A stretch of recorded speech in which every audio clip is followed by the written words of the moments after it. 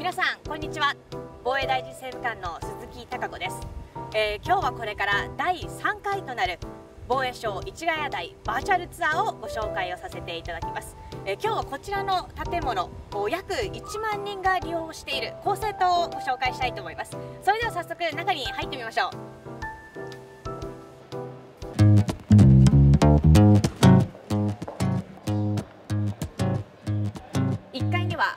防衛省職員の福利厚生を支える。共済組合。そしてまた奥に行くと食堂コンビニコーヒーショップ自衛隊の関連グッズを扱う売店もあります。それではこれから2階に上がってみましょう。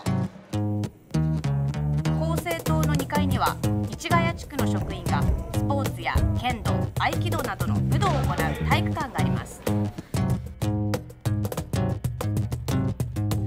さらにここには2017年4月に開園をした保育園もあります。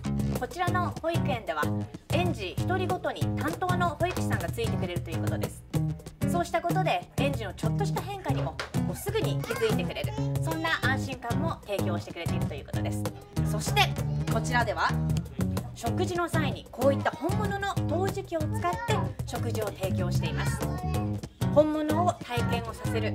そしてまたこういったものを使いながら食事のマナーを教えるだけでなくより豊かな感性を育みたいそんな思いが込められているそうです。女性の社会進出が進み活躍も目覚ましい中早朝そしてまた深夜など不規則な仕事に尽くしてくださっている。全ての職員の方も安心して預けられることができます。また職員だけでなく地域の皆様にも利用いただいております。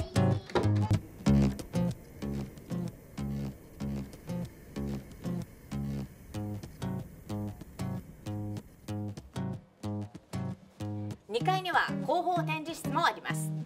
陸上自衛隊海上自衛隊航空自衛隊防衛装備庁の装備品やそしてまた活動内容を示すこういった展示がされています。そしてまたこの広報展示室は一般の皆さんも自由に入っていただくことができますのでぜひお立ち寄りいただきたいと思います。